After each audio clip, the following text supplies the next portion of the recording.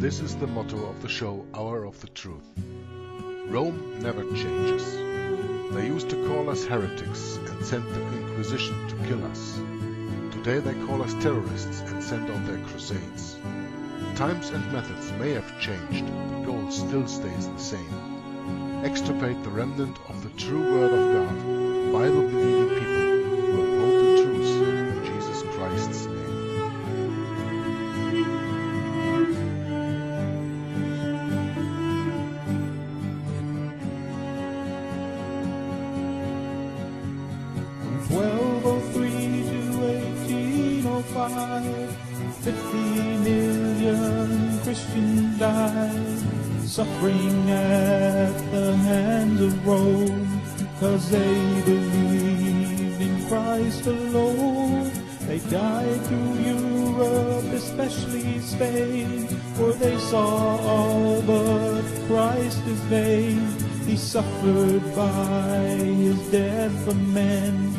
save them from their awful sin. Six hundred years of martyred saints that history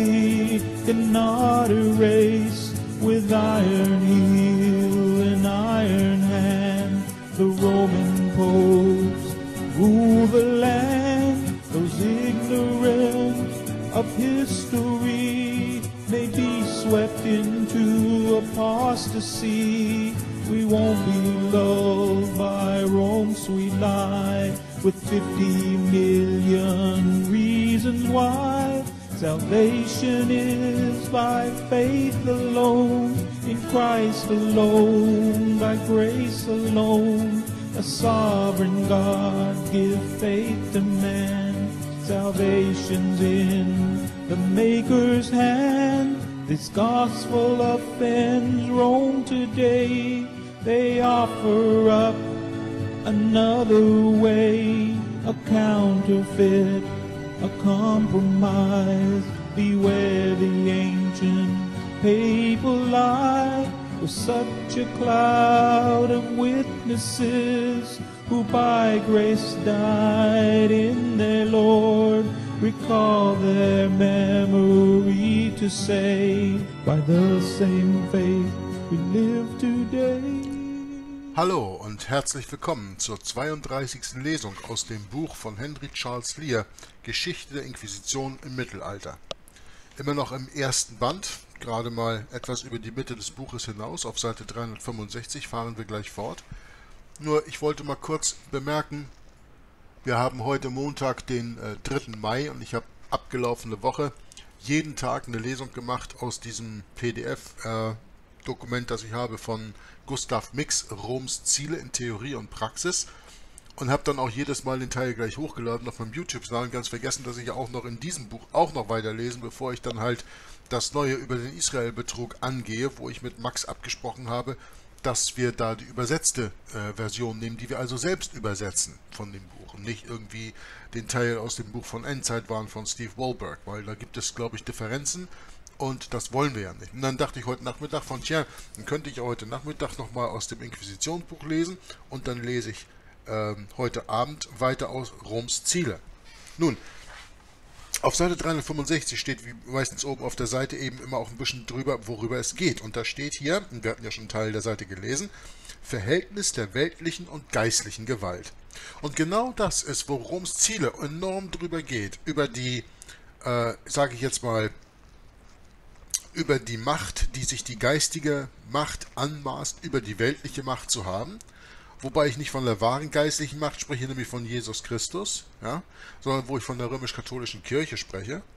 Und dann habe ich mir von dem Gustav Mix ja noch ein Buch besorgt, das heißt ähm, das aus dem Schuldbuch der Jesuiten, das ist von 1911.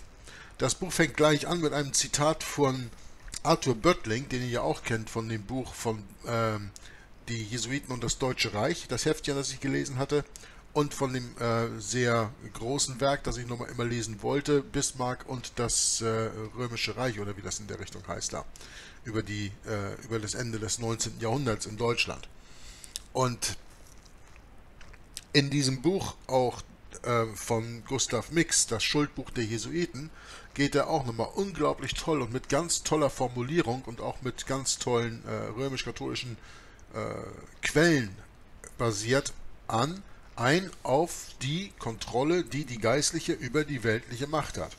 Und wenn wir dann hier lesen, Verhältnis der weltlichen und geistigen, geistlichen Gewalt, also das, das Verhältnis zueinander natürlich, wo es hier bei Henry Charles Lear drum geht, dann sieht man, dass ich mit allen Lesungen, die ich im Augenblick mache, mich genau damit beschäftige. Und das sollte uns auch ein wenig zu denken geben, um zu verstehen, wie enorm wichtig der Punkt ist, dass die geistige Gewalt die weltliche Macht komplett beherrscht dass die weltliche Macht nichts macht, was nicht von der geistigen Macht vorher diktiert wird. Mit anderen Worten, das Priestertum. Und das Priestertum, das wir kennen aus Rom, ist ja im Grunde nichts anderes als eine Fortsetzung des jüdischen Priestertums. Deswegen lehrt die römisch-katholische Kirche ja auch diesen Dispensationalismus und vor allen Dingen lehrt sie, dass sie die Fortsetzung des jüdischen Priestertums ist. Das, deswegen trägt der, pa der, Papst ja auch immer diesen Bini, diesen, diesen komischen äh, Judenhut. Ja? Müsst ihr mal drauf achten. Warum trägt er den denn? Ja? Weil er eben meint, dass die römisch-katholische Kirche eben sich auch fortsetzt aus dem Priestertum des Judentums und dass das Judentum nicht äh, das biblische ähm, Judentum ist, also das, die, das biblische Israel, äh, Israel vertritt, sondern dass die äh, Schriftgelehrten und Pharisäer, wie ja von Jesus auch angeklagt waren, eben nur ihre eigenen Dinge und aus Babylon verkehrte Lehre lehrten, anstatt die Menschen wirklich in die Wahrheit des Wortes Gottes zu leiten, ist ja eine andere Sache. Aber ich finde es wirklich sehr bemerkenswert, dass ich im Augenblick drei verschiedene Dinge lese und in allen drei verschiedenen Dingen geht es hauptsächlich um das Verhältnis der weltlichen und der geistlichen Macht. Und das sollte uns zu denken geben, dass wir uns da ein klein wenig mehr, auch jeder selber, damit miteinander beschäftigen. Dass wir alle sehen, dass das, was sie uns hier in äh, Politik und was nicht alles in der Welt vorspielen, dass das wirklich nur vorgespielt ist. Weil die wahren Strippenzieher, die wahren Menschen, die die Agenda legen, die sitzen im Hintergrund, die kennen wir überhaupt nicht. Die sitzen in einer sogenannten Schattenregierung, ja, aufgeteilt in Diözesen, wo es vom Priester bis hoch zum Kardinal geht. Und da haben wir keine Ahnung von. Das wird uns nicht gezeigt, das wird uns nicht gesagt. Und es ist immer wichtig, dass wir uns daran erinnern, dass die geistige Macht und hier in diesem Fall die des Antichristen, die des Papsttums, die weltliche Macht, die sie selbst in die Welt setzt, um die Menschen zu regieren, in der Macht hat. Ja?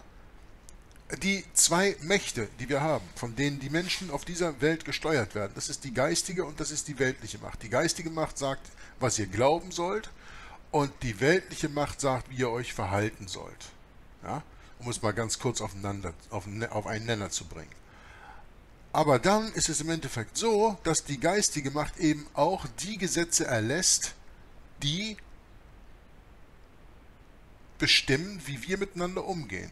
Die ganzen weltlichen Gesetze, die wir haben, die sind alle abgestimmt auf das geistige Gesetz. Also mit anderen Worten, und das können wir auch in den Werken nachlesen, die ich gerade erwähnt habe, mit anderen Worten heißt das, es gibt kein bürgerliches Gesetz, das in Wirkung ist in dem Land, in dem wir leben, das nicht angepasst ist an römisch-katholisch-kanonisches Recht.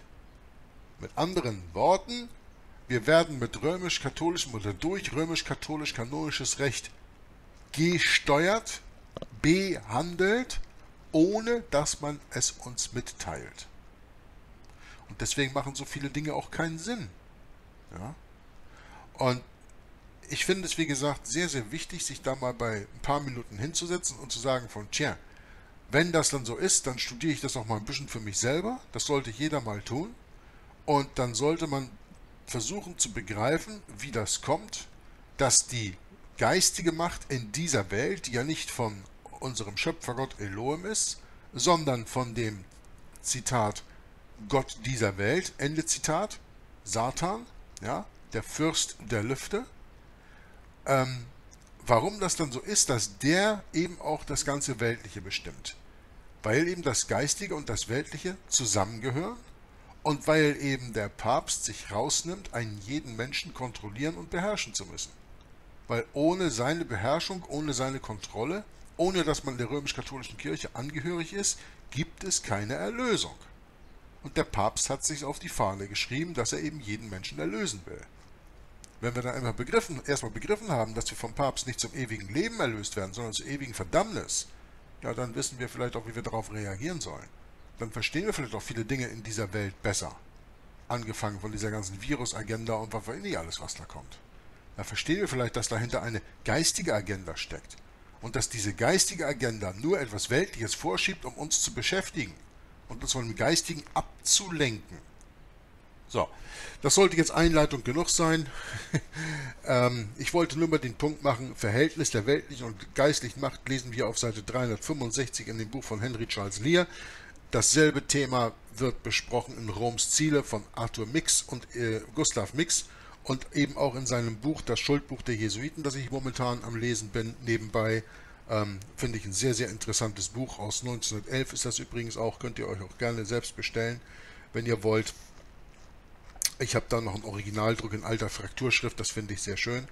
Und jetzt machen wir dann auch weiter mit Henry Charles Lear nach der Einleitung. Wie gesagt, das Verhältnis der weltlichen und geistlichen Macht, da geht es hier auf dieser Seite drum. Und dann geht es um die Anfänge der Organisation, also Organisation der Inquisition, die Legaten und Inquisitoren, Bischöfe und Inquisitoren, Kompetenzkonflikte und so weiter. Das sind die Dinge, mit denen wir uns in dieser restlichen Lesung jetzt beschäftigen wollen. Also, im zweiten Absatz auf der zweiten Hälfte der Seite 365 fährt der Autor fort und sagt, Angesichts dieser konfusen und ungeregelten Versuche zur vollständigen Ausrottung der Ketzerei war die Intervention des Heiligen Stuhles auf die Dauer unerlässlich. Er musste daher aufgrund seiner obersten apostolischen Autorität, die er sich natürlich nur anmaßt, die er nicht hat, irgendein allgemeines System zur wirksamen Ausübung dieser unabweislichen Pflicht ausfindig machen. Verwunderlich bleibt dabei, dass dies so lange verschoben und schließlich so verlegen und schüchtern ins Werk gesetzt wurde. Im Jahr 1226 bemühte man sich, den, der schnellen Ausbreitung des Katharismus in Florenz durch Verhaftung des ketzerischen Bischofs Filippo Paternon, dessen Diözese sich von Pisa bis Arezzo erstreckte, Einhalt zu tun. Aufgrund der florentinischen Ortsgesetze wurde er vom Bischof von und Podesta gemeinsam verhört. Er machte dem Verhör durch Abschwörung kurzerhand ein Ende und wurde wieder in die Freiheit gesetzt. Bald aber fiel er in seine Irrtümer zurück. in seine Irrtümer, wir würden es Wahrheit nennen. Ne? Bald aber fiel er in seinen Irrtum zurück oder in seine Irrtümer zurück und gab dadurch den Orthodoxen ein noch größeres Ärgernis als vorher. Im Jahr 1227 beklagte sich ein bekehrter Ketzer bei Gregor IX., also bei Antichrist Gregor IX., beschwert sich oder beklagt sich ein bekehrter Ketzer über diesen Rückfall des, äh, wie wir gerade gesprochen hatten, Bischofs Filippo Paternon, und der Papst, der gerade den römischen Stuhl bestiegen hatte, ne, also der stand, äh, saß gerade neu auf diesem äh, Stuhl, von seinem Vorgänger übernommen, Gregor IX., ja, äh, entsandte zur schnellen Heilung des Übels eine besondere Kommission nach Florenz, die als das erste Beispiel einer päpstlichen Inquisition betrachtet werden kann. Gregor IX. wird im Allgemeinen auch als Vater der Inquisition erkannt in der römisch-katholischen Kirche und auch außerhalb. Doch war dieser Versuch unaufdringlich, obwohl die Kirche von Florenz der unmittelbaren päpstlichen Kontrolle unterstand. Na, wir müssen verstehen, Florenz ist heute ja Italien, das gehört ja alles unter Rom, aber damals nicht. Es gab noch freie Städte, es gab päpstliche Staaten und es gab freie Städte und Florenz war eine freie Stadt, die zwar der geistigen Macht Roms unterstand, aber nicht der unmittelbaren weltlichen Macht. Ne? Der vom 20. Juni 1227 datierte päpstliche Brief ermächtigte einfach Giovanni von Salerno, den Dominikaner Prio von Santa Maria Novella mit einem seiner Brüder und dem Domherrn Bernardo gegen Paternon und seine Anhänger gerichtlich vorzugehen und sie zur Abschwörung zu zwingen. Falls sie hartnäckig blieben, sollten sie nach Kanones des nach den Kanones des Laterankonzils handeln und, wenn nötig, die Kleriker und Laien der Bistümer Florenz und Fiesole zu Hilfe rufen. So trug der Papst kein Bedenken, in die Jurisdiktion des Bischofs von Florenz einzugreifen, obwohl er für sein Vorgehen keine anderen Gesetze als die Kanones des Laterankonzils geltend machen konnte. Was die päpstlichen Kommissare bezüglich der untergeordneten Ketzer erreichten, ist nicht bekannt. Es gelang ihnen aber, den Bischof Parthenon gefangen zu nehmen. Doch wurde er mit Hilfe seiner Freunde befreit und verschwand. Sein Bistum übernahm sein Nachfolger Torcello. Fra, das ist so viel wie Frater, äh, Bruder, denke ich mal, oder äh, ja, Bruder, Fraterne, äh, Fraternité, ne? Fra, die Abkürzung davon. Äh, Fra Giovanni behielt das Mandat bis zu seinem Tode im Jahre 1230. Alsdann trat ein anderer Dominikaner, Aldo Brandino Cavalcanti, an seine Stelle. Doch war ihre Jurisdiktion bis dahin noch ganz unbestimmt. Denn im Juni 1229 führte, wie erzählt wird, der Abt von St. Miniato zwei Heresiarchen, Andreas und Peter, vor Antichrist Gregor IX. nach Perugia, wo sie gezwungen wurden, öffentlich vor dem päpstlichen Gerichtshofe abzuschwören also von ihrer Häresie, von ihrer Ketzerei abzuschwören.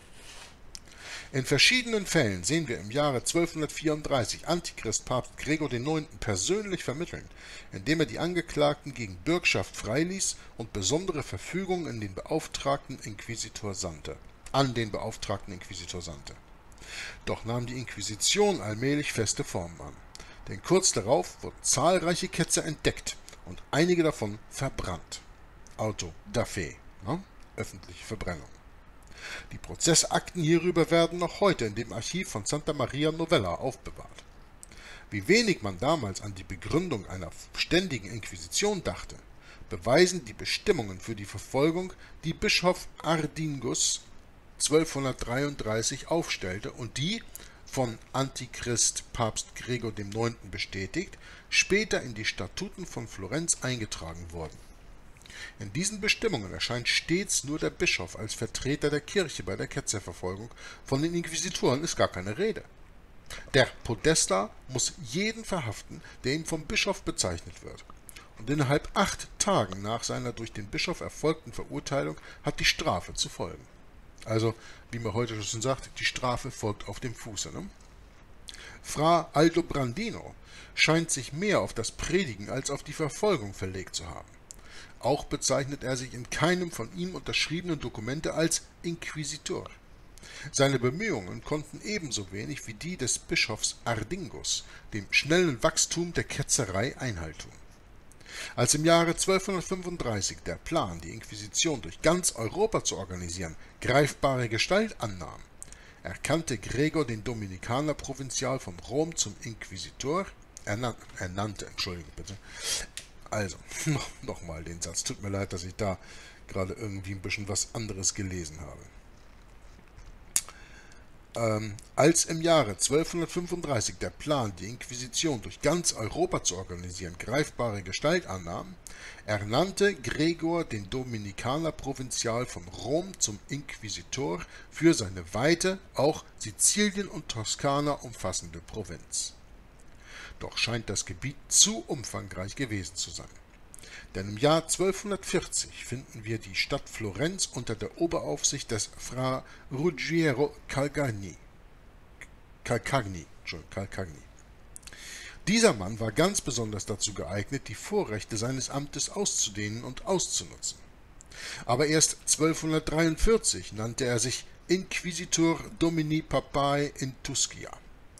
In einem Urteil aus dem Jahre 1245 gebraucht er die vorsichtigere Bezeichnung Inquisitor des Bischofs Ardingos und des Papstes und beruft sich zur Rechtfertigung seines Vorgehens auf den ihm zuteil gewordenen bischöflichen Auftrag. Zu dieser Zeit entbehrte das Inquisitionsverfahren offenbar noch jeder festen Form. So trägt ein Geständnis aus dem Jahre 1244 nur die Namen zweier Mönche, während der Inquisitor nicht einmal gegenwärtig ist. Im Jahr 1245 sind zwei Urteile von Ruggieri allein unterzeichnet, während er in anderen Prozessen gemeinsam mit Ardingos handelt. Man kann indessen behaupten, dass er der Inquisition in Florenz Form und Gestalt gegeben hat, als er im Jahre 1243 zum ersten Male seinen unabhängigen Gerichtshof in Santa Maria Novella eröffnete und zwei bis drei hervorragende Bettelmönche als Besitzer sowie öffentliche Notare als Protokollführer hinzuzog. Die bisherigen Darlegungen geben uns ein ziemlich genaues Bild von der allmählichen Entwicklung der Inquisition. Sie war keine Institution, die sofort endgültig geplant und fest begründet wurde, sondern entstand langsam, Schritt für Schritt, durch Benutzung der Mittel, die am nächsten lagen und am ehesten zum Ziel zu führen schienen. Als Gregor klar erkannt hatte, dass, es auf den bischöflichen Eifer, dass auf den bischöflichen Eifer kein Verlass sei, suchte er aus der günstigen weltlichen Ketzergesetzgebung Vorteile zu ziehen, indem er sich zugleich der Predigermönche als der geeignetsten Werkzeuge zur Ausführung seiner Pläne bediente. Wir werden später sehen, wie der in Florenz unternommene Versuch in Aragonien, Languedoc und Deutschland wiederholt wurde und wie der ihn krönende Erfolg die Gründung einer ausgedehnten und dauernden Organisation zur Folge hatte. Die Inquisition soll, wie bisweilen behauptet wird, am 20. April 1233 gegründet worden sein, dem Tage, an welchem Antichrist Gregor IX. zwei Bullen veröffentlichte, wodurch er die Ketzerverfolgung zu, seiner, zu einer speziellen Aufgabe der Dominikaner machte. Doch zeigt der apologetische Ton, in welchem er sich an die Prälaten wendet, wie unsicher er sich fühlte hinsichtlich ihres Verhaltens gegenüber diesem Eingriff in ihre Jurisdiktion. Andererseits lässt die Beschaffenheit der päpstlichen Instruktion deutlich erkennen, dass Gregor noch keine Ahnung hatte von dem Ziele, zu dem die Neuerung führte. Tatsächlich scheint seine unmittelbare Absicht vielmehr die Bestrafung der Priester und anderer Kleriker gewesen zu sein, die, wie vielfach geklagt wurde, die Ketzer begünstigten, indem sie denselben zeigten, wie sie bei dem Verhör ihren Glauben verheimlichen und Rechtsgläubigkeit heucheln könnten. Nachdem der Papst die göttliche Einrichtung, die Prediger, der, der Predigerorden zu und nee, nachdem der Papst die Notwendigkeit betont hatte, die Ketzerei zu unterdrücken und die göttliche Einrichtung der Predigerorden zu unterstützen, die sich in freiwilliger Armut der Ausbreitung des Wortes Gottes und der Ausrottung des Unglaubens widmen wollten, fährt er, an die Bischöfe sich wendend, fort. Zitat wir sehen euch verstrickt in einen Wirrwarr von Sorgen und kaum imstande, unter dem Druck der überwältigenden Beunruhigung zu atmen. Wir halten es deshalb für gut, eure Lasten zu teilen, damit sie leichter getragen werden können. Wir haben daher beschlossen, Predigermönche gegen die Ketzer Frankreichs und der benachbarten Provinzen auszusenden, und wir bitten, warnen, ermahnen und befehlen euch, sie im Namen der Verehrung der ihr für den heiligen, die ihr für den heiligen Stuhl empfindet, freundlich aufzunehmen, sie gut zu behandeln und ihnen in diesem und allen anderen eure Gunst, euren Rat und eure Hilfe zuteil werden zu lassen, damit sie ihr Amt erfüllen können. Ende Zitat. Die andere Bulle war gerichtet an die Prioren und Brüder des Predigerordens. Nachdem er in derselben auf die verlorenen Söhne hingewiesen, die die Ketzerei verteidigten, fährt er fort, Zitat, Daher also seid ihr oder irgendeiner von euch, wo immer ihr zufällig predigen möget, ermächtigt den Klerikern, die auf eure Ermahnung hin von solcher Verteidigung der Ketzerei nicht ablassen, ihre Pfründen für immer zu nehmen und gegen sie und alle anderen ohne Berufung vorzugehen, sowie, wenn nötig, die Höfe des weltlichen Armes anzurufen und ihren Widerstand durch kirchliche Zensuren ohne Berufung zu brechen. Ende Zitat.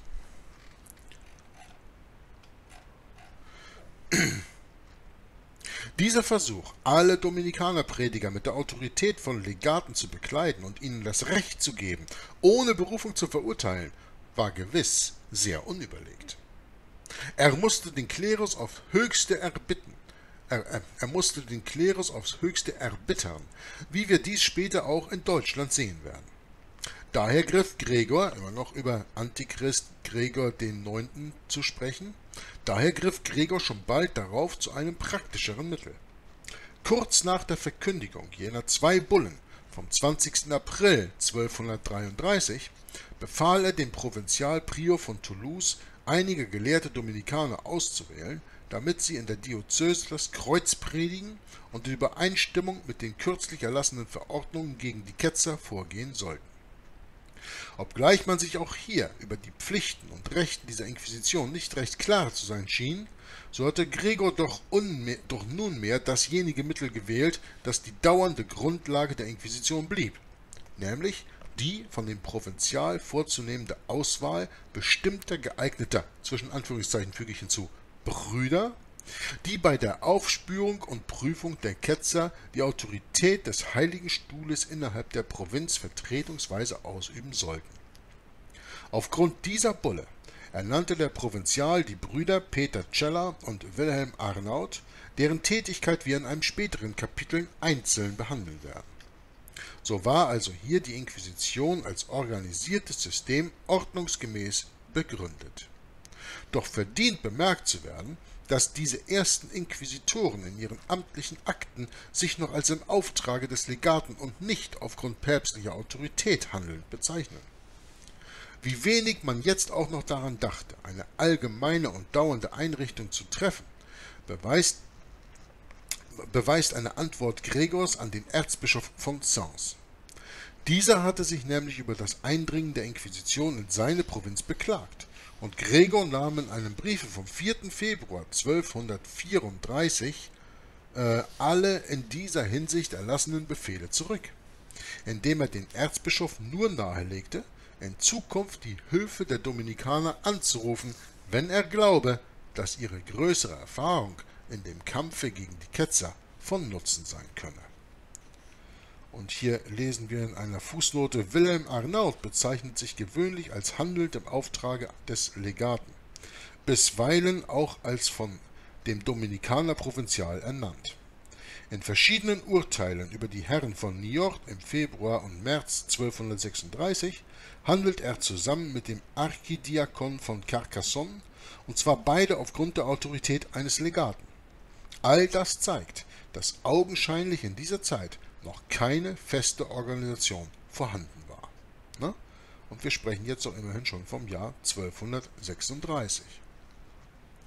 Bis jetzt dachte man noch nicht daran, fährt der Autor fort, die bischöflichen Amtsbezeugnisse durch andere zu ersetzen. Um diese Zeit schrieb Gregor an die Bischöfe der Provinz Narbonne und drohte ihnen mit seiner Ungnade, falls sie nicht den Ketzern die verdienten Strafen auferlegten, macht aber keine Anspielung auf die Inquisition. Am 1. Oktober 1234 nahm ferner der Erzbischof von Narbonne, Peter Amiel, seinem Volke den Eid ab, dass ein jeder ihm oder seinen Beamten alle Ketzer anzeigen würde. Er hatte also anscheinend noch gar keine Kenntnis von dem Vorhandensein besonderer Inquisitoren. Auch dort, wo solche angestellt waren, waren ihre Pflichten und Amtsbefugnisse, ihre Machtsvollkommenheiten und das Maß ihrer Verantwortlichkeit noch ganz unbestimmt und bedurften noch einer genaueren Abgrenzung. Da man sie als einfache Gehilfen der Bischöfe bei der Ausübung ihrer uralten Jurisdik Jurisdiktion über die Ketzer ansah, so berichtete man natürlicherweise in allen Fragen, die sich unmittelbar erhoben, an die Bischöfe. Viele Punkte in Bezug auf die Behandlung der Ketzer waren festgelegt, teils durch die römischen Statuten Gregors aus dem Jahre 1231, teils durch die Konzilien von Toulouse 1929, Béziers und Arles 1234, die alle sich damit beschäftigten, die bischöfliche Inquisition anzuregen und zu organisieren. Doch traten in der Praxis beständig neue Einzelheiten zutage, und eine neue Ordnung war offenbar notwendig, wenn die Verfolgung wirksam sein sollte. Die auf Ersuchen des Grafen Raimund erfolgte mehrjährige Aufhebung der Inquisition schob die Sache hinaus. Als aber das heilige Offizium im Jahr 1241 seine Tätigkeit wieder aufnahm, wurde die Sache dringend und die Bischöfe wurden allgemein als die Autoritäten betrachtet, von denen diese Ordnung ausgehen müsse Urteile des Wilhelm Arnaud aus dem Jahre 1241 bezeugen nicht nur, dass Bischof Raimund von Toulouse als Beisitzer teilnahm, sondern auch, dass man sogar den Erzbischof von Narbonne um seinen persönlichen Rat angegangen war. Offenbar mussten allgemeine Grundsätze in Betreff der Leitung der Inquisition aufgestellt werden. Demgemäß wurde ein großes Konzil der drei Provinzen Narbonne, Arles und Aix 1243 und 1244 in Narbonne abgehalten, das eine umfangreiche Reihe von Kanones entließ und in diese Grundlagen für die Inquisition und in diesen die Grundlagen für die Inquisitionstätigkeit festlegte.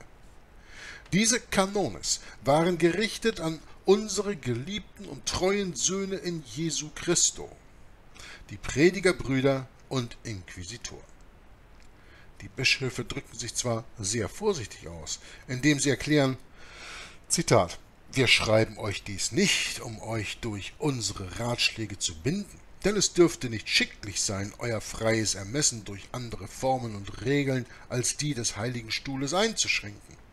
Außerdem könnte es eurem Geschäfte zum Schaden gereichen.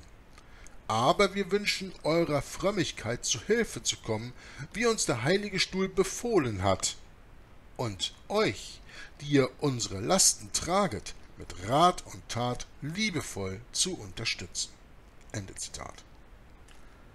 Allein der Ton des Ganzen ist doch der eines unbedingten Befehles, sowohl bei Festsetzung der Jurisdiktion als auch bei Festsetzung der Instruktionen über das Verfahren gegen die Ketzer.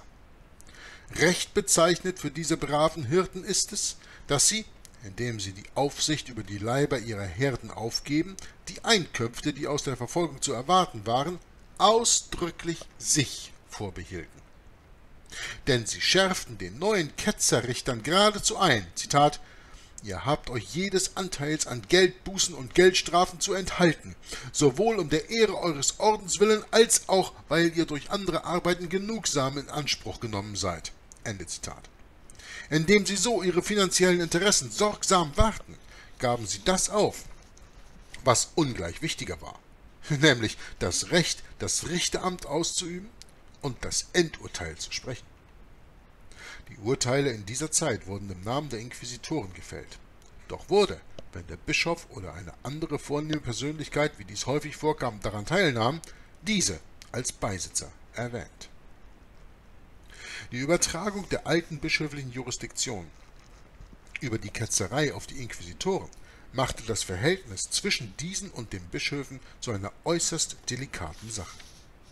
Die neue Einrichtung konnte keinen festen Fuß fassen, ohne dass es zu mehr oder weniger bedeutenden Reibungen kam, deren Vorhandensein wir aus den mannigfaltigen und widerspruchsvollen Versuchen erkennen, die später zur Regelung der gegenseitigen Beziehungen gemacht werden. Besonders tritt dies zutage in der Entwicklung, die die Inquisition in den verschiedenen Ländern nahm.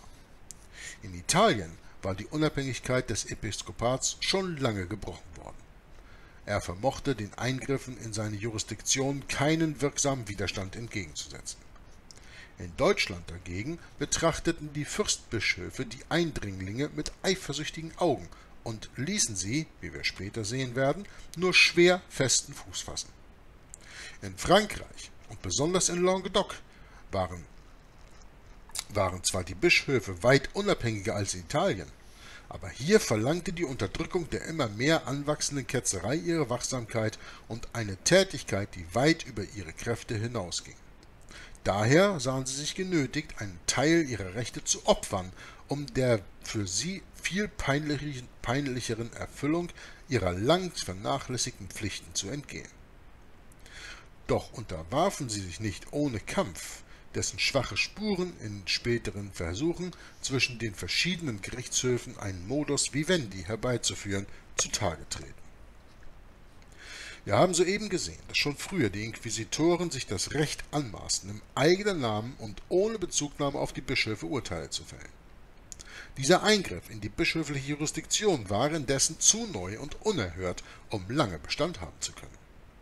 Tatsächlich sehen wir auch, wie der Kardinallegat von Albano durch Vermittlung des Erzbischofs von Narbonne den Inquisitoren den, Befehl, den Befehl erteilt, ohne Mitwirkung der Bischöfe keinen Ketzer zu verurteilen und keine sonstige Strafe zu verhängen. Der Befehl musste allerdings in noch schärferer Form wiederholt werden. In diesem Sinne regelte auch das Konzil von Béziers 1246 die Frage. Die Bischöfe verzichteten hier auf die Geldstrafen, damit dieselben für die Ausgaben der Inquisition verwendet würden Sie stellten aber auch eine sorgfältig ausgebreitete Reihe von Anweisungen für die Inquisitoren auf, indem, Zitat, wir gerne euren frommen Gesuchen nachkommen, die ihr in aller Bescheidenheit uns vorgelegt habt. Ende Zitat. Eine Zeit lang noch betrachteten die Päpste die Bischöfe als verantwortlich für die Unterdrückung der Ketzerei in ihren Diözesen und erkannten dadurch die Jurisdiktion derselben über die Ketzer an. Als im Jahr 1245 Antichrist Papst Innozenz IV. den Inquisitoren erlaubte, frühere Urteile zu ergänzen oder abzuändern, wies er nachdrücklich darauf hin, dass dies nur in Übereinstimmung mit dem Bischofe geschehen dürfe. Im Jahre 1246 befahl er dem Bischof von Agen fleißig nach der Ketzerei zu forschen, gemäß den von dem Kardinallegaten von Albano gegebenen Vorschriften und mit derselben Machtvollkommenheit wie der Inquisitor Ablässe zu gewähren.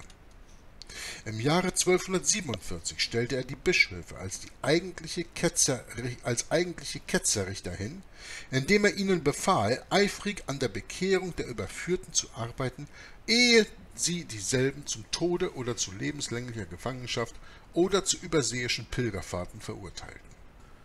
Selbst bei hartnäckigen Ketzern sollten sie sorgfältig mit dem Inquisitor oder anderen geeigneten Persönlichkeiten beraten, ob es dem Heile des Sünders oder dem Interesse des Glaubens dienlicher sei, das Urteil auszusprechen oder aufzuschieben.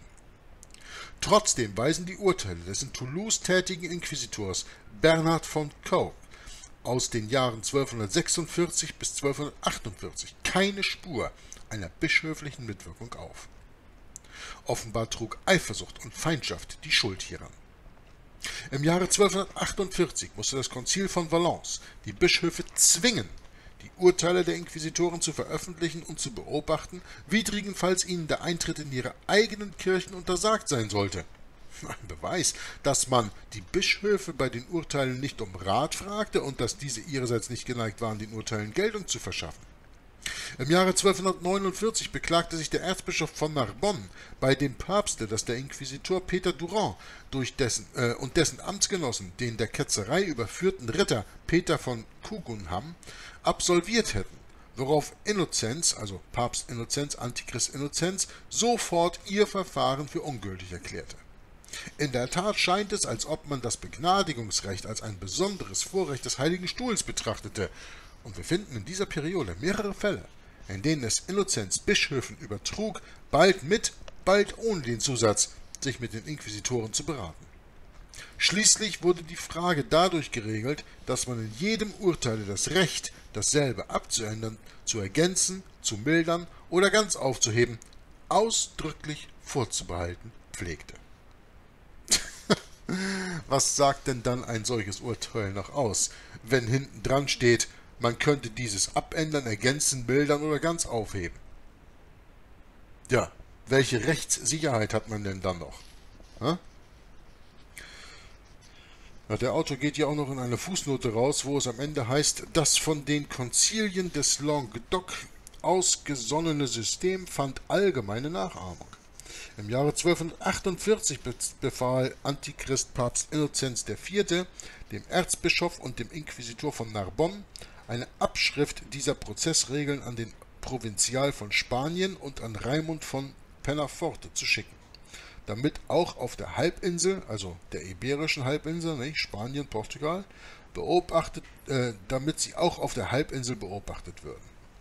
Die Kanones dieser Konzilien werden ferner häufig in den Handbüchern der mittelalterlichen Inquisition zitiert. So, so viel zu dem Text der Fußnote. Wir fahren dann in dem Buch fort auf Seite 374. Die Gründung der Inquisition und jetzt geht es über den Sieg der päpstlichen Inquisition. Dadurch, dass die Inquisitoren noch im Jahre 1246 erwarteten, die Bischöfe würden für ihre Ausgaben aufkommen, gaben sie, wenigstens in der Theorie, zu, dass sie den ordentlichen bischöflichen Gerichtshöfen angegliedert seien. Außerdem verlangte man von den Bischöfen, dass sie Gefängnisse errichteten für die Einkerkerung der bekehrten Ketzer. Zwar entzogen sie sich dieser Verpflichtung, indem sie, den, indem sie sie auf den König schoben, aber das im Jahre 1254 von dem päpstlichen Legaten Soen von Avignon abgehaltene Konzil von Albi erklärte, dass die Gefängnisse der bischöflichen Oberaufsicht unterständen. Das Konzil stellte ferner eine sorgfältig ausgearbeitete Reihe von Anweisungen über die Behandlung der Ketzer auf. Es war dies die letzte derartige Kundgebung der Bischöfe in der Ketzerfrage, denn alle späteren Verordnungen wurden vom Heiligen Stuhl erlassen. Selbst ein so erfahrener Verfolger wie Bernhard von Cox, der die bischöfliche Jurisdiktion in seinen Urteilen vollständig unbeachtet ließ, erkannte im Jahr 1248 seine Unterordnung unter dem Bischof dadurch an, dass er sich an Wilhelm von Narbonne um Rat wandte, und der Erzbischof gab ihm nicht bloß Bescheid in einigen speziellen Fällen, sondern erteilte ihm allgemeine Anweisungen. Ja, in den Jahren 1250 und 51 nahm der Erzbischof die Inquisition selbst in die Hand, indem er ohne Vermittlung der päpstlichen Inquisitoren Ketzer bestrafte. In einem Breve Innozenz IV. aus dem Jahre 1251 wird eine früher gehegte, später aber wieder aufgegebene Ansicht, das ganze Verfahren gegen die Ketzer von neuem den Bischöfen zu übertragen, angespielt. Aber trotz dieser Anzeichen einer Reaktion setzten die Eindringlinge ihren Weg siegreich fort, allerdings nicht ohne an den an vielen Orten bittere Kämpfe zu entfachen, die noch gesteigert wurden durch die Feindseligkeiten zwischen dem Weltklerus und den Bettelmönchen. Wir können dies allerdings nur vermuten, aus vereinzelten Angaben, die sich, der, die sich in der nur bruchstückweise vorhandenen Überlieferung jener Zeit finden.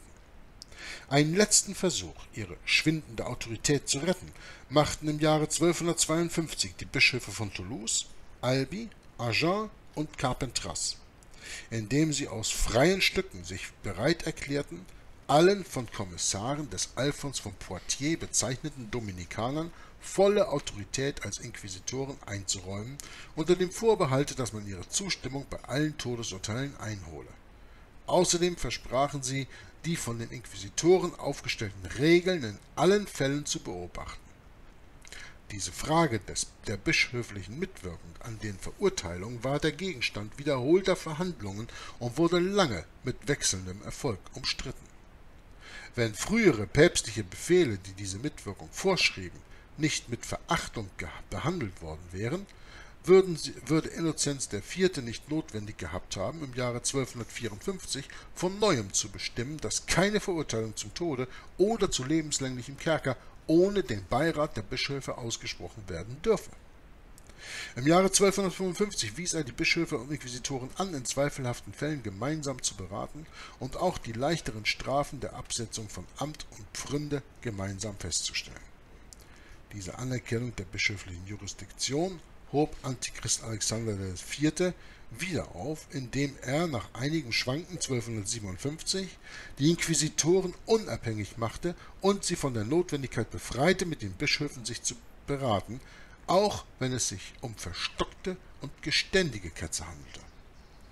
Er wiederholte diese Entscheidung 1260, aber dann trat eine Reaktion ein. Antichrist Urban IV. erließ 1262 eine ausführliche Sammlung von Anweisungen, durch die er die Beratung mit den Bischöfen für alle Fälle, in denen die Todesstrafe oder lebenslängliche Gefangenschaft in Frage kam, vom Neuem vorschrieb. In demselben Sinne entschied Antichrist Clemens IV. im Jahre 1265. Entweder wurden diese Vorschriften einer späteren Verordnung zurückgenommen, oder sie gerieten bald in Vergessenheit. Denn 1273 befahl Antichrist Gregor X. unter Hinweis auf die von Alexander IV. verfügte Aufhebung der bischöflichen Mitberatung, dass die Inquisitoren bei der Urteils, äh, Urteilsfällung gemeinsam mit den Bischöfen oder ihren Vertretern sich beraten sollten, damit so die bischöfliche Autorität Anteil an allen wichtigen Entscheidungen erhalte. Bis zu dieser Zeit scheint man die Inquisition nur als ein vorübergehendes Auskunftsmittel zur Befriedigung eines besonderen Bedürfnisses betrachtet zu haben, und jeder Papst erließ bei seiner Thronbesteigung eine Reihe von Bullen, durch die er die Vollmachten der Inquisitoren erneuerte. Die Ketzerei war jedoch unausrottbar, und das Volk hatte die neue Einrichtung angenommen, die sich in vielen Fällen so nützlich erwies, abgesehen davon, dass sie die Reinheit des Glaubens bewahrte. Oder besser gesagt die Reinheit des Aberglaubens. So ging man allmählich dazu über, sie als ein wesentliches Element der kirchlichen Organisation zu betrachten und ihre Regeln festzulegen. Gregors Entscheidung zugunsten der bischöflichen Mitwirkung bei allen strengen Urteilen blieb für die Folgezeit in Kraft. Wir werden später sehen, dass Antichrist Clemens V. bei dem Versuch, gröbsten, der, der, den gröbsten Missbräuchen der Inquisitionsgewalt Einheit zu tun, zudem allerdings ungenügenden Auskunftsmittel Moment. Wir werden später sehen, dass Clemens V. bei dem Versuche, den gröbsten Missbräuchen der Inquisitionsgewalt Einhalt zu tun, zudem allerdings ungenügenden Auf Auskunftsmittel griff, die bischöfliche Oberaufsicht und Verantwortlichkeit zu vermehren. Er folgte hierin einem Versuche, den Philipp der Schöne in demselben Sinne gemacht hatte. Wenn übrigens Bischof und Inquisitor zufällig auf gutem Fuß standen, zufällig, äh, dann wurde die dürftige, durch diese Bestimmung dem Angeklagten gewährte Sicherheit dadurch vereitelt, dass einer dem anderen seine Vollmachten übertrug. Es sind Fälle überliefert, in denen der Bischof als Stellvertreter des Inquisitors oder der Inquisitor als Stellvertreter des Bischofs handelte. Die Frage, ob einer von ihnen ohne den anderen ein gültiges Absolutionsurteil fällen könne, hat die Kanonisten viel beschäftigt, und Namen von hohem Range äußerten sich bald für beide Ansichten. Es scheint, als ob die Mehrzahl zu einer Bejahung der Frage neigt. Das Recht der Überwachung seitens der Bischöfe wurde, wenigstens in Italien, hinsichtlich der so wichtigen Geldfrage sehr verstärkt, als Antichrist Nikolaus IV. 1288 befahl, dass alle Gelder, die aus Geldstrafen oder Konfiskationen herrührten, bei Männern deponiert werden sollten, die vom Inquisitor und vom Bischof gemeinsam angestellt werden müssen, dass sie ferner nur mit dem Beirate des Bischofs ausgegeben werden dürften und dass demselben regelmäßig Bericht erstattet werden müsse. Das war eine ernsthafte Einschränkung der Unabhängigkeit der Inquisitoren, aber sie war nicht von langer Dauer. Die Bischöfe missbrauchten ihre Oberaufsichtsrecht, um, Anteil an der Beute zu erlangen, indem sie vorgaben, selbst die Untersuchung zu führen. Antichrist Benedikt XI. machte 1304 dem unziemlichen Streit ein Ende, indem er die Verordnungen seines Vorgängers aufhob. Es wurde den Bischöfen verboten, Bericht einzufordern. Diesen sollten die Inquisitoren nur der päpstlichen Kammer oder besonderen päpstlichen Bevollmächtigten erstatten. Wenn auch die delikaten Beziehungen zwischen den verschiedenen Jurisdiktionskompetenzen naturgemäß nur langsam und vorsichtig geregelt werden konnten, so traf dies doch keineswegs zu bei der Regelung der Beziehungen der Inquisition zur menschlichen Gesellschaft im Allgemeinen. Schon in den ersten Stadien ihrer Entwicklung, als sie noch jeder festen Organisation entbehrte, hatte sie bei der Unterwerfung der Ketzer mit Hilfe der weltlichen Gesetze so unschätzbare Dienste geleistet, dass man allseitig sich bemühte, ihr eine feste Organisation zu verschaffen, um sie dadurch noch mehr zur Entdeckung und Bestrafung der Ketzer zu befähigen. Der Tod Friedrichs II. im Jahre 1250 befreite das Papsttum von seinem größten Gegner und gab ihm Gelegenheit, die Edikte des Kaisers nunmehr praktisch durchzuführen. Demgemäß erließ am 15. Mai 1252 Antichrist Papst Innozenz IV. an alle Prälaten und Herrscher Italiens seine berüchtigte Bulle Ad extirpanda, ihr ein wohlerwogenes und sorgfältig ausgearbeitetes Gesetz, das eine feste Organisation schaffen und die systematische Ketzerverfolgung zu einer wesentlichen Aufgabe der bürgerlichen Gesellschaft in jedem Staate und jeder Stadt machen sollte, wenngleich die unsichere Art und Weise, die unsichere Art und Weise, in der bald auf die Bischöfe, bald auf die Inquisitoren, bald auf die Mönche als ausführende Organe Bezug genommen wird, beweist, wie unbestimmt doch die gegenseitigen Beziehungen und Pflichten derselben in der ganzen Sache waren. Die Bulle ad extirpanda, darüber habe ich bereits in früheren Lesungen gesprochen. Ich meine, das ist bei Romanismus und die Reformation zur Sprache gekommen und auch, glaube ich, bei James Atkin Wileys Doppelgesicht des Papsttums. Eine ganz, ganz wichtige Bulle. Deswegen fährt der Autor hier auch fort und sagt, in dieser Bulle wird allen Staatsoberhäuptern befohlen, die Ketzer den Zauberern gleich zu achten und in öffentlicher Versammlung zu ächten. Jeder, der einen Ketzer fand, durfte seiner Person und seines Besitzes sich bemächtigen. Jedes Staatsoberhaupt sollte innerhalb dreier Tage nach seinem Amtsantritt auf Grundlage der Vorschläge eines Bischofs und zweier Mönche aus jedem der Bettelorden zwölf gute Katholiken mit zwei Notaren und zwei oder mehreren Dienern ernennen, deren einzige Aufgabe darin bestehen sollte, die Ketzer zu verhaften, ihre Güter zu konfiszieren und dem Bischof oder seinen Vikaren auszuliefern. Ihr Gehalt und ihre Dienstunkosten sollten vom Staate bestritten werden. Ihr Zeugnis sollte auch ohne Ablegung eines Eides angenommen werden und kein Zeugnis gültig sein gegenüber den übereinstimmenden Aussagen von zwei oder dreien von ihnen. Also, lesen wir den letzten, letzten Satz hier noch einmal. Ihr Zeugnis sollte auch ohne Ablegung eines Eides angenommen werden und kein Zeugnis gültig sein gegenüber den übereinstimmenden Aussagen von zwei oder drei von ihnen. Also hier geht doch die römisch-katholische Kirche ganz deutlich gegen die Bibel ein, die sagt, alles wird bei der Aussage von zwei oder drei Zeugen äh, bestätigt, befestigt, ne? wie man so schön sagt in der Bibel. Ne? Alles soll belegt werden durch die Aussage von zwei oder drei Zeugen. Und hier sagt er, und kein Zeugnis gültig sein gegenüber den übereinstimmenden Aussagen von zwei oder drei von ihnen. Also, das behält hier seine Gültigkeit nicht. Ihr Zeugnis soll auch ohne Ablegung eines Eides angenommen werden und kein Zeugnis gültig sein gegenüber den übereinstimmenden Aussagen von zwei oder drei von ihnen. Also wenn zwei oder drei was anderes behaupten, dann wiegt hier die Aussage des Bischofs immer noch mehr. Nur das finde ich schon ganz schön stark. Aber ist ja typisch in einer antichristlichen Kirche, dass da eben auch antichristlich regiert wird. Ne? Ihr Amt sollten sie sechs Monate lang bekleiden.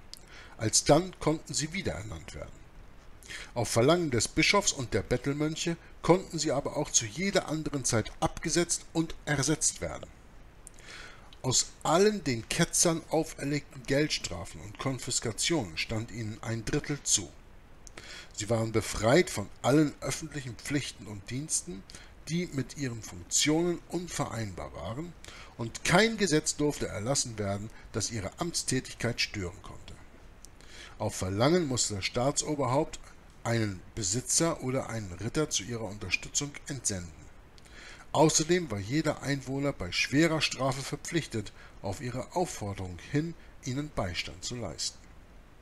Wenn die Inquisitoren einen Teil ihrer Jurisdiktion wenn die Inquisitoren einen Teil des ihrer Jurisdiktion unterstellten Gebietes besuchten, mussten sie von einem Vertreter des Staatsoberhaupts begleitet werden, den sie selbst oder der Bischof auswählten. also besonders unabhängig wird er dann wohl nicht gewesen sein. Ne? Wenn sie auf ihre Visitationsreisen in eine Stadt oder ein Dorf kamen, so musste dieser Vertreter drei gut beleumundete Männer oder sofort alle Einwohner der Nachbarschaft zusammenberufen und sie eidlich verpflichten, alle ihnen bekannten Ketzer anzuzeigen und das Vermögen derselben sowie alle anderen Personen, die geheime Konventikel abhielten oder in ihren Sitten und Lebensgewohnheiten von den anderen Gläubigen abwichen, angeben. Der Staat musste alle Verdächtigen verhaften, sie einkerkern, sie unter sicherem Geleite dem Bischof oder dem Inquisitor ausliefern und innerhalb 14 Tagen den Edikten Friedrichs entsprechend alle gegen sie ausgesprochenen Urteile ausführen. Außerdem musste der Herrscher seine Aufforderung hin alle diejenigen foltern lassen, die nicht eingestehen oder die ihnen bekannten Ketzer nicht verraten wollten. Wurde einer Verhaftung Widerstand geleistet, so wurde die ganze Gemeinde, in welcher das vorgekommen war, mit einer beträchtlichen Geldstrafe belegt, wenn sie nicht innerhalb dreier Tage alle Teilnehmer daran der Gerechtigkeit auslieferte. Gerechtigkeit hätten wir hier natürlich in Anführungsstriche setzen müssen. Ne? Der Herrscher musste vier Listen anfertigen lassen über die, welche, der, welche wegen Ketzerei für ehrlos erklärt oder geächtet waren.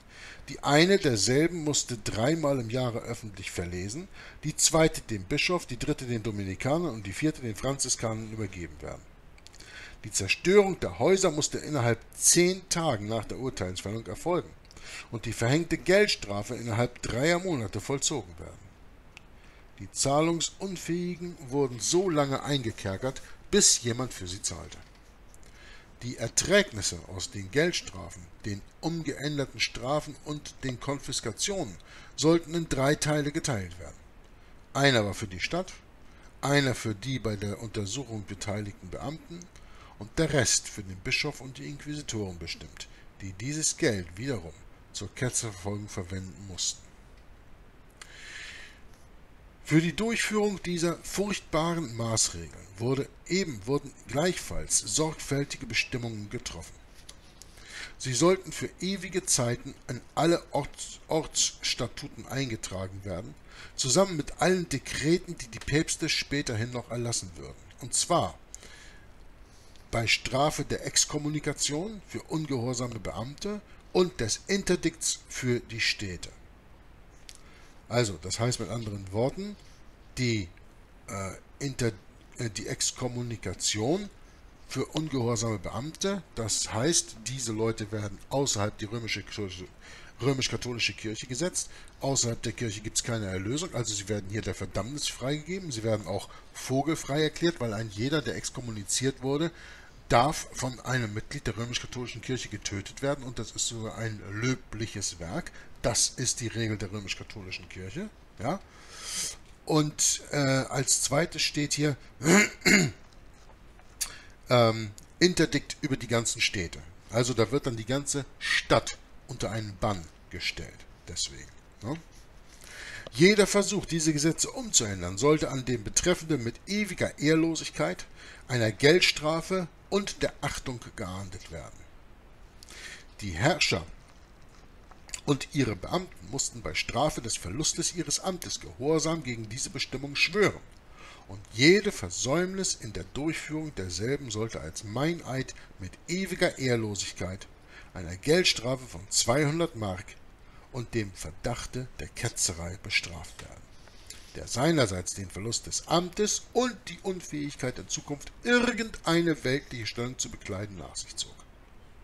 Innerhalb zehn Tagen nach seinem Amtsantritt sollte jeder Machthaber auf Aufforderung und Vorschlag des Bischofs und der Bettelmönche hin drei gute Katholiken ernennen und sie eidlich verpflichten, die Amtshandlungen seines Vorgängers zu prüfen und ihn für jeden Fall des Ungehorsams zu verfolgen. Weiterhin sollte jeder Podesta beim Beginn und beim Ende seiner Amtstätigkeit die Bulle an allen vom Bischof und den Inquisitoren bezeichneten Plätzen verlesen und alle ihr entgegenstehenden Bestimmungen aus den Gesetzbüchern austilgen lassen. Gleichzeitig erließ Antichrist Innozenz Anweisungen an alle Inquisitoren, die Eintragung dieser Bulle und des Ediktes Friedrichs II. in die Gesetzbücher der Städte nötigenfalls unter Androhung der Exkommunikation zu erzwingen. Bald darauf übertrug er ihnen die gefährliche Vollmacht, in Verbindung mit den Bischöfen durch besondere Statuten alle zweifelhaften die Ketzerei betreffenden Bestimmungen auszulegen. Also hier geht auch der Autor ziemlich deutlich darauf ein, was in der Bulle ad extirpanda alles darin steht. Ja. Diese Verordnungen sind nicht etwa wilde Fantasiegebilde eines nächtlichen Traumes, sondern, ich würde eher sagen Albtraum, ne? Sondern nüchtern ausgearbeitete, praktische, mit Scharfsinn und Sorgfalt ausgedachte Gesetze, die eine einheitliche Ketzerverfolgung begründen sollten. Es ist charakteristisch für die öffentliche Meinung jeder Zeit, jener Zeit, dass die Annahme derselben keinem wirksamen Widerstand begegnete. Vor seinem Tode nahm Papst Antichrist Innozenz IV. im Jahre 1254 noch einige unbedeutende aus der Erfahrung sich ergebende Abänderungen an der Bulle vor.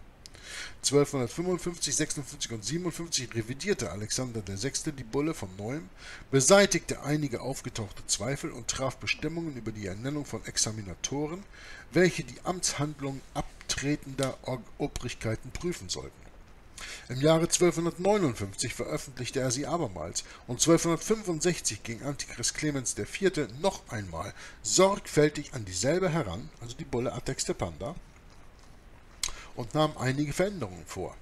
Die wichtigste derselben bestand darin, dass er das Wort Inquisitoren an den Stellen beifügte, wo Innozenz IV. nur von Bischöfen und Bettelmönchen gesprochen hatte. Ein Beweis, dass die Inquisition mittlerweile zum anerkannten Werkzeug der Ketzerverfolgung sich herausgebildet hatte. Im nächsten Jahre wiederholte er nachdrücklich den Befehl Antichrist Innozenz IV. an die Inquisitoren, die Aufnahme seiner Gesetze und der seiner Vorgänger in die Gesetzesbücher zu erzwingen, und zwar nötigenfalls unter unbeschränkter Anwendung der Exkommunikation und des Interdikts. Hieraus geht hervor, dass sie nicht überall freundliche Annahmen fanden. Aber gerade die Seltenheit des Widerstandes beweist, wie allgemein man sich ihnen unterwarf. So erfuhr Antichrist Alexander IV. 1256, dass die Behörden von Genua sich widerspenstig zeigten. Sofort belegte er sie mit der Zensur und dem Interdikt, falls sie nicht binnen 14 Tagen willfahrten, und 1528 erging es Behörden von Mantua ebenso. Andererseits zeigt die Tatsache, dass die Bulle noch in der Redaktion der florentinischen Statuten von 1355 aufgeführt wird, und zwar inmitten von ihr entgegenstehenden Gesetzen, die wörtlich die wie wörtlich die Befehle des Papstes ein Jahrhundert lang befolgt wurden. Diese Verordnungen lieferten in Italien der Inquisition ein vollständig organisiertes, vom Staate bezahltes und unterhaltenes Personal und machten sie zu einer selbstständigen Einrichtung, die mit allen zur gründlichen Durchführung ihrer Aufgabe nötigen Waffen und Mitteln ausgestattet war. Ob die Päpste jemals versuchten, ihren Bullen auch außerhalb Italiens Geltung zu verschaffen, ist nicht ersichtlich. Auf alle Fälle gelang ihnen der Versuch nicht, da eine da Entschuldigung, auf alle Fälle gelang ihnen der Versuch nicht, da von einer Anerkennung der päpstlichen Bullen diesseits der Alpen keine Rede ist. Das war aber auch kaum nötig, denn das öffentliche Recht, der konservative Geist der herrschenden Klassen und die Frömmigkeit der Herrscher sorgten schon dafür, dass die Unterstützung der Inquisition allen Bürgern jeden Grades zur höchsten Pflicht gemacht und nötigenfalls erzwungen wurde. Im Vertrage von Paris wurde 1229 allen Staatsbeamten aufgetragen, der Inquisition bei der Gefangennahme der Ketzer Hilfe zu leisten und alle Einwohner, die männlichen über 14, die weiblichen über 12, mussten schwören, den Bischöfen alle Übeltäter anzuzeigen. Und so fahren wir noch fort und fort und fort und fort. Und da wir bei einer Stunde angekommen sind, unterbreche ich die Lesung jetzt hier. Wir lesen äh, im Augenblick ungefähr auf Mitte Seite 881 und werden nächstes Mal diese Seite nochmal von vorne anfangen über diese Verordnungen. Wir sehen, dass wir jetzt ganz zum Schluss genau darauf hinkommen, was ich bereits am Anfang gesagt hatte, wie die geistige Macht eben über die weltliche Macht herrscht. Da braucht es noch nicht mal die Bulle durchzusetzen. Ja? Das ist genau das, worüber wir jetzt hier sprechen. Und deswegen ist es sehr interessant, da nächstes Mal beizubleiben und zu sehen, dass natürlich Bürgermeister und andere herrschende Adel und so weiter durch ihren Glauben unter Druck gesetzt werden, diese Gesetze durchzusetzen, ob sie das wollen oder nicht. Ihnen wird Exkommunikation angedroht, ihnen wird Zusammenarbeit mit den Ketzern unterstellt, ihnen wird mit Interdikt und mit Ausschluss aus der Kirche gedroht, und da die Leute nun mal römisch-katholisch waren, von wovon wir wissen, dass es eine falsche Religion ist, sie aber nicht, gingen sie davon aus, wenn ich das nicht mache, dann werde ich hier äh, meine Seligkeit verlieren. Und deswegen ist die weltliche Macht so willig, der geistigen Macht zu gehorchen. Und das ist heute nicht viel anders. Und wenn es heute auch nicht immer um die geistigen Drohungen der geistigen Macht an die weltlichen Herrscher geht, aber eben darauf hin, dass sie ihnen in der Welt viel Macht geben und sie eben durch bestimmte Handlungen von vorher in der Hand haben, erpressen können. Das System bleibt dasselbe. Ja? Die Menschen wollen dann heute in der Welt ihren Status nicht verlieren. Damals hier wollten die Adligen, Fürsten und Bürgermeister und andere Regierenden eben ihre Seligkeit nicht verlieren fürs ewige Leben. Heute interessiert es die Menschen weniger und sie wollen vor allen Dingen in diesem Leben erfolgreich bleiben und reich bleiben und berühmt bleiben und schön bleiben und machen deswegen das, was ihnen von geistiger Seite aufgetragen wird. Und das schließt den Kreis mit dem Kommentar, wie ich ihm am Anfang dieses Videos begonnen habe. Und da, wo sich der Kreis schließt, da sollte man zum Ende kommen und deswegen lesen wir nächstes Mal auf Seite 881 weiter in diesem Fall. Da geht es um der weltliche Arm, also immer noch das, worüber wir gerade gesprochen haben. Und da werden wir dann in der 33. Lesung fortfahren. Für heute danke ich für eure Aufmerksamkeit und wünsche euch noch einen schönen Tag und verbleibe mit meinem Aufruf, dass ihr bitte, bitte regelmäßig eure Bibel lest, um zu sehen, was in der Bibel geschrieben steht auf der einen Seite und was in dieser Welt passiert auf der anderen und dass ihr dann das, was in dieser Welt passiert, messen könnt an den Worten der Bibel. Das Gute könnt ihr behalten, das Schlechte sollt ihr verwerfen, aber leider werdet ihr feststellen, dass ihr nicht viel Gutes behalten könnt daran. Bis zum nächsten Mal. Maranatha. O allmächtiger Herr und Gott, wie gar lieblich sind dein Gebot, über alles Gold so reine. Du wirst geehrt alleine in deiner heiligen Gemeinde. Dein Wille ist uns offenbar, die Wahrheit leuchtet hell und klar in allen Kreaturen. Gott hat uns auserkoren, dazu noch neu geboren. Der Himmel und das Firmament uns zeigen die Werke seiner Hand, wie groß ist seine Ehre im Land und auf dem Meere. Das wollen die Werke uns lehren.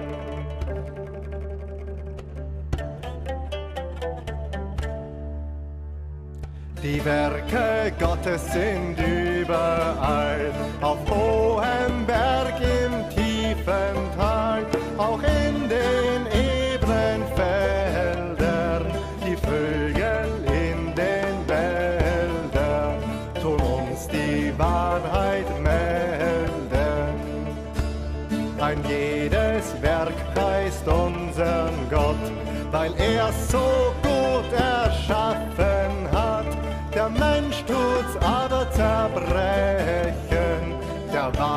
Wahrheit widersprechen. Gott wird es an ihm rächen. Die Werke Gottes sind wunderbar, in rechter Ordnung immer da. Die soll der Mensch erfahren. Gott will's uns offenbaren.